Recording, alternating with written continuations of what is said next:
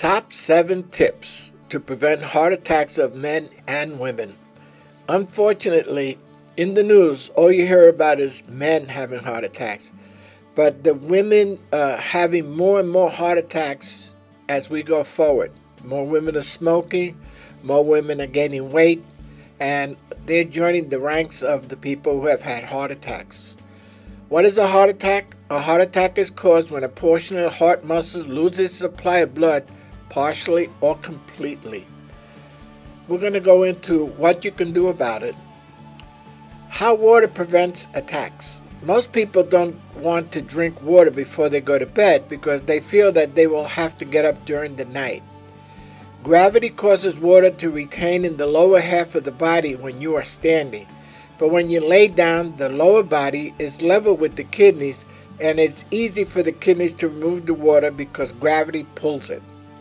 Drinking water before sleeping gives your body the minimum amount of water it needs to flush toxins from your body.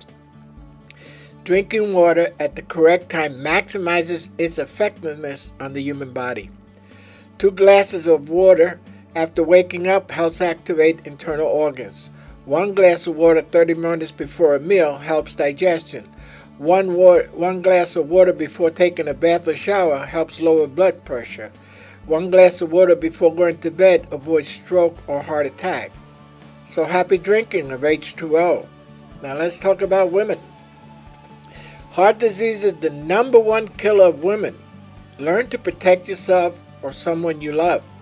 You know, a lot of people don't realize that heart attack is the number one killer of women. And these are the things you should do if you're doing them. Stop. Don't smoke. Brush your teeth. The bacteria that grows in your mouth causes gum disease may double your risk for a heart attack. Regular brushing and flossing can sweeten your breath and improve your health. And a lot of people don't know how important that is. Gum disease is a major cause of heart trouble.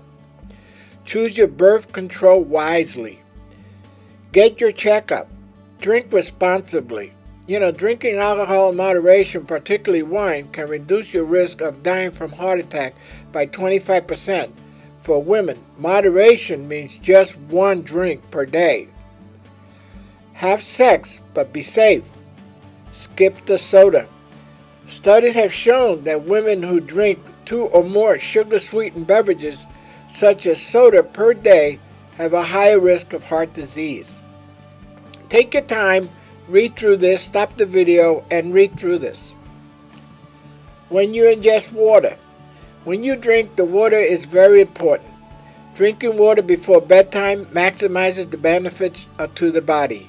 Drinking water before sleeping will help avert bedtime leg cramps. You wake up with a charley horse when your leg muscles seek hydration and cause your legs to cramp. Heart attacks timing. Most heart attacks occur during the day, mostly between 7 a.m. and noon. Something unusual could have happened if you had an attack during the night when the heart really should be at rest. Research is showing that sleep apnea can be the cause of nighttime heart attacks. And one of the ways you know you have sleep apnea is that you snore. And snore keeps you waking you up during the night. You may not realize you're waking up, but disrupting your sleep and can be the cause of heart attacks. So beware, and if you are snoring heavily, if your wife is complaining, make sure you get a sleep apnea test, uh, sleep less done. How to protect yourself.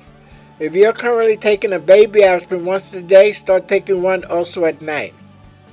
Aspirin has a 24 hour half life because most heart attacks happen in the early morning hours, the effect of aspirin will still be in your system. You should keep aspirin by your bedside as your first line of defense against heart attacks. Why keep it by your bed? Because most heart attacks happen most while you are in bed. Aspirin has a very long shelf life, so it's not the used by date uh, labels on it. Heart attack symptoms. First symptom we all know is the pain in the left arm.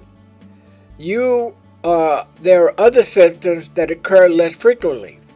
intense pain in your chin, extreme sweating, as well as nausea. You know, for no reason you start sweating profusely, it could be that you're having a heart attack. Be aware you may not feel any pain in the heart area. You know, your arm may be feeling, you may be sweaty, you may be nauseous, but your chest area is not hurting. The sudden death from heart attacks occurs mostly during sleep. If you do have a heart attack in your sleep, and you are lucky enough that it wakes you up, you uh, wake up and you chew two aspirins in your mouth and swallow with water. So now immediately call 911. Say after you take two aspirins, call 911. Then call a neighbor or family member who is nearby and say heart attack. Do not lay down. Go to your front door and sit on a chair and wait for the arrival of help. Don't worry that it may be a false alarm because it may be the real thing. Better to be safe than sorry for waiting too long. Water can save your life. Make it a habit of drinking two glasses of water after waking up. Two cups of coffee also count to help activate your body's internal functions. One glass of water 30 minutes before a meal helps with digestion and weight loss. One glass of water before taking a bath helps lower blood pressure. One glass of water before going to bed may prevent heart attacks and even strokes. Look at this diagram here. Water, on average, we can live three days without water versus three weeks without food. That shows you how vital water is to your body and your, your well being. Seven steps to a healthier heart. You don't have to take big chances to reduce your heart attack and stroke risk. There are seven healthy habits that could save your life. First one is eat heart healthy diet. Make vegetables and fruits, more grains and fish, meat, mealtime staples. Limit sodium, saturated fat, and added sugar. And that added sugar is carbohydrates. Cut down on the amount of carbohydrates you consume pizza, bread, pasta, rice, potatoes, all the things that turn to sugar once they enter your body. Get active. Log 150 minutes of moderate intensive activity like brisk walking per week or 75 minutes of vigorous intense activity. Control your blood sugar. Aim for fasting blood glucose less than 100 milligrams. And that comes from exercising, and also cutting down on the carbs. Watch your cholesterol. Strive for a total cholesterol less than 200 milligrams. And you know, uh, carbohydrates are one of the causes of increasing cholesterol. Maintain a healthy weight.